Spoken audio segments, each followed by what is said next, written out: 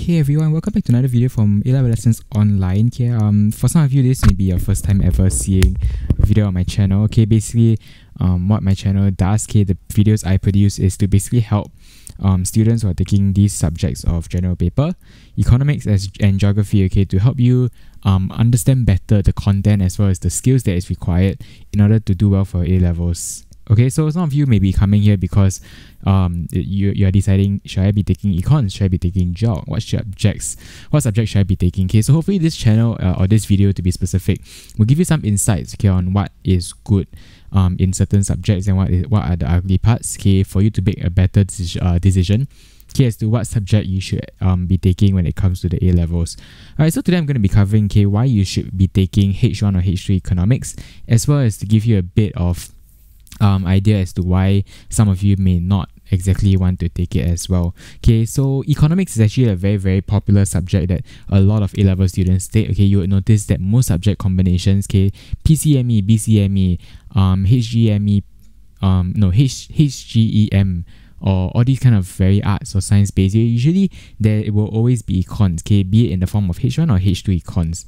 Alright, essentially, if you were to ask me if I were to recommend whether you should take H1 or H2 econs, I would definitely say go for H2 econs, okay, because you are actually covering roughly, okay, roughly, okay, I'm not, don't, don't quote me on this, um, but based on my knowledge, is that you are kind of like um, covering around almost the same amount of um, econs knowledge. The only difference is the length of the paper as well as things like your essay writing, which is different.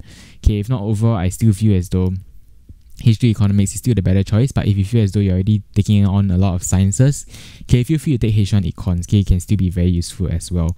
Alright, so going right in, okay, econs, why you should be taking it, okay, because you are really going to be learning about the real world.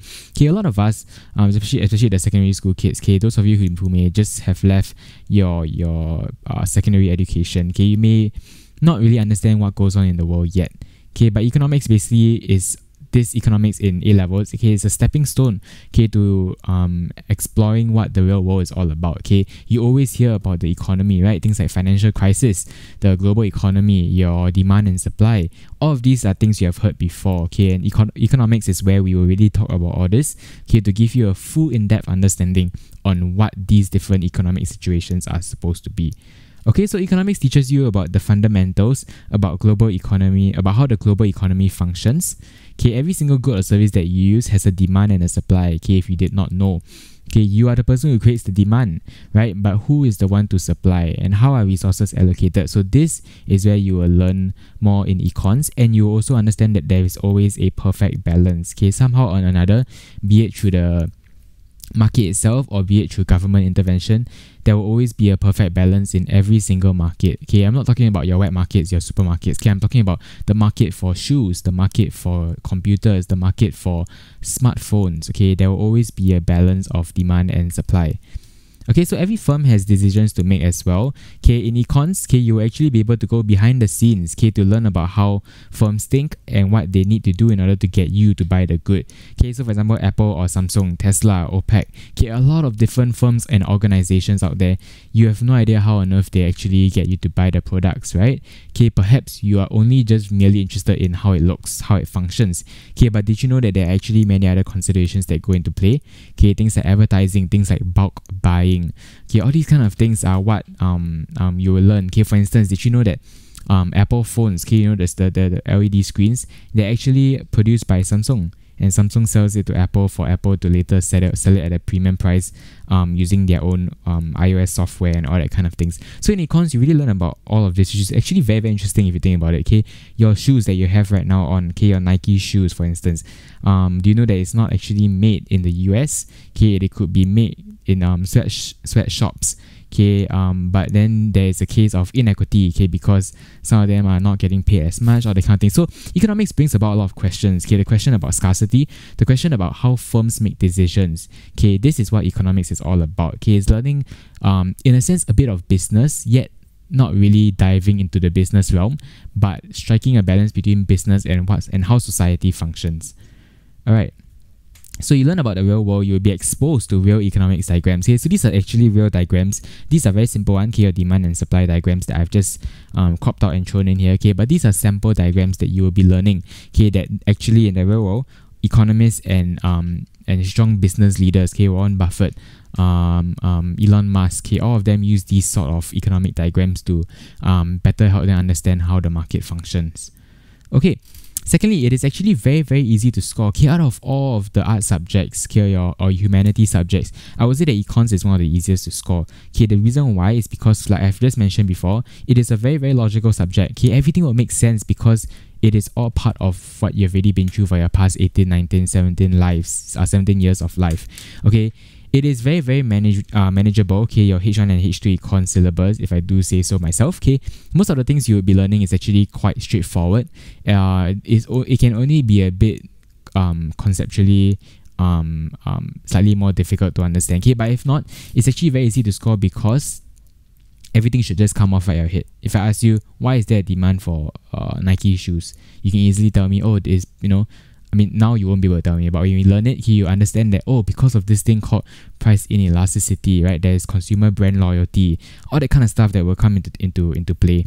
Okay, but the only thing is that, yes, while it is very, very easy to score, you do need a lot of practice. Econs is all about practice. So if you're not willing to put in the hard work to practice, don't even take A levels at all. Okay, go and do a another course in maybe poly or something, okay, or, or, or another um, education system. Okay, because A levels is all about practice. Okay, any subject you're going to be taking is all about practice. Same for econs. Okay, especially when it comes to essays. Okay, a lot of students tend to fall for the trap that they follow a very very fixed format of writing. So all they do is memorize and then regurgitate. Okay, but it never ever works that way.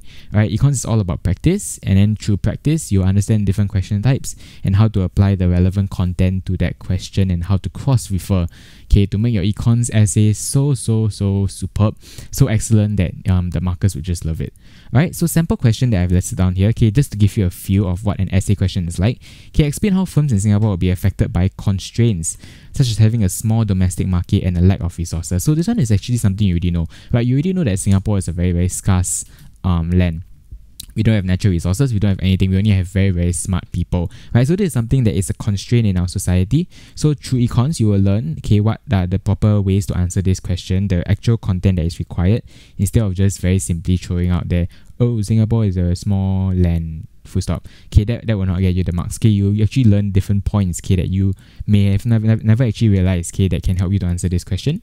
Okay, assess which are the appropriate policies that firms and governments could adopt to overcome such constraints. Okay, so this one is down to how what the government has been doing. Okay, whatever the government has been doing, perhaps you have not been realizing. Here, behind the scenes, they're actually doing a lot of work. Okay, to try and um, curb certain scarcity issues that Singapore faces. So these are things that you'll be learning. Okay, we'll teach you exactly how um, the government handles all of these kind of stuff. Okay, it trains your essay writing. Okay, actually this slide is very similar to the one I've done for geog. Okay, but in, in basically in economics, here you actually need to learn how to write strong evaluative essays that are very important. Okay, um, in order to, to, to scoring well. Okay, econs is and A levels in general. It's not about content anymore. Okay, it's about skills. Okay, it's about how you write your evaluation. Okay, to evaluate is to assess and to make a judgment on a certain issue. Okay, so you're not really following the textbook anymore. You're actually forming your own personal judgment on the issue at hand. Okay, so that would be very very important over here. Okay, these are also university requirements and oops sorry, and a lifelong skill set. So it's very it's actually very crucial as well.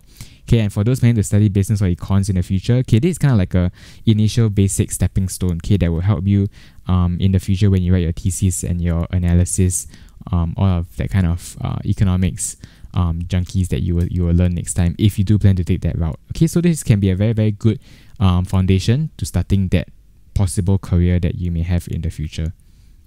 Okay, so now I come to my slightly negative part of this video, okay, which is the cons to taking econs. Okay, wow, that wow, I didn't realize cons to taking econs. Nice. Okay, forget it. Okay, moving on. So how However, okay, at times, okay, econs can actually be conceptually difficult. Okay, it is not always easy because there's a plethora of new economics concepts that you may have never have heard of. Okay, for example, the theory of CA, comparative advantage, elasticity concepts, not your rubber banner. This is different. Okay, your different revenue and types of costs. Okay, these are a lot of different concepts that you have to learn to grasp within the two years, which can be quite a bit for some people. Okay, so if you're not that kind who can really um, hold on to these concepts, these um, economic concepts very well, okay, which um, is basically really a lot of understanding, practice, practice, practice, and patience to go and understand step by step how these work. Okay, you may you may be better off taking another subject instead. Okay, but if you are willing to go through this okay concepts after the end of actually grasping this concept, you realize that you're able to write things that you have never imagined you could before. Okay, these concepts will help you to get through a lot of things, help you to really understand how the world works, as well as to help you answer even questions from your general paper, your your geography, your CSE, a lot of different other subjects as well. Okay, so it is um cross disciplinary as well. Okay, but the concepts can be difficult, it can be challenging. So I have to warn you first. Okay, so if not, I'm going to go through the syllabus requirements. This is for H2 Econs. Okay, the first paper will require you to do a case study, 2 hours 15 minutes. Okay, it will be two case studies. Okay, whereby it will present to you real life economic situations that may have happened in recent years. So, for example, the recent oil crisis or the recent political situation, how it has affected the economy. Okay, the recent um, um, virus, okay, how has it affected as well. So, it will basically give you case study questions and mini essays to answer based on several different sources. Okay, and you basically need to answer based on those statistics and um, sources that they have quoted.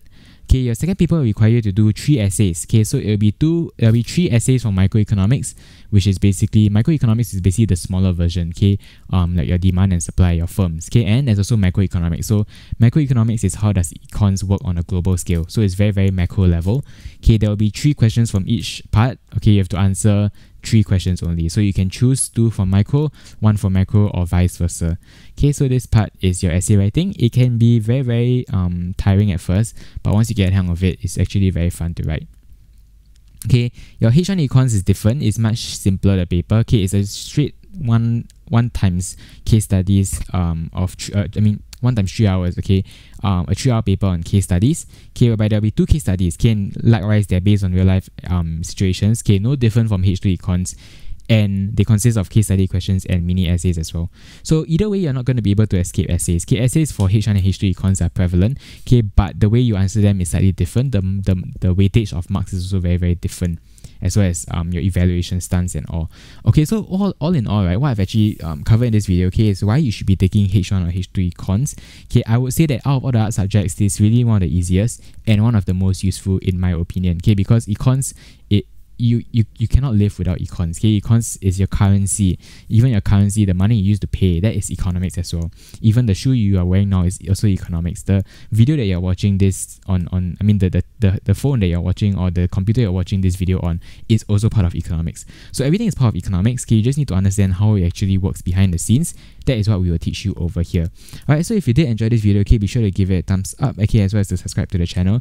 I'll be actually uploading a lot of GP videos, okay, general paper videos videos, as well as math and possibly, uh, I mean, and even more geog and econs videos for those of you who have um, never heard of this channel before. Okay, so when it comes to actually studying for your A levels, at least you have this um, source of help, okay, which is free. Okay, my videos are completely free. They're all online, free for you to take. Okay, um, which can actually help you to answer questions. Okay, as well as to fill in the loopholes which you may have certain queries or doubts when it comes to school. And if your teachers aren't free to answer, at least you have me to come and help answer for you. Alright, so if you have any questions, leave it down in the comment section below do subscribe to the channel. It really, really, really does help me out a lot, as well as to give this video a like. Okay, if not, um, I hope that some of you guys do take up econs. Okay, I took it up myself. It was a very, very fun subject. I scored an A for it as well in A levels. Um, and I believe that you can too as as long as you follow the, the very basic rules of econs which your teacher will be going through which I will be going through as well on this channel. Okay so if not I'll see you guys in the next one. Till then peace out guys bye bye.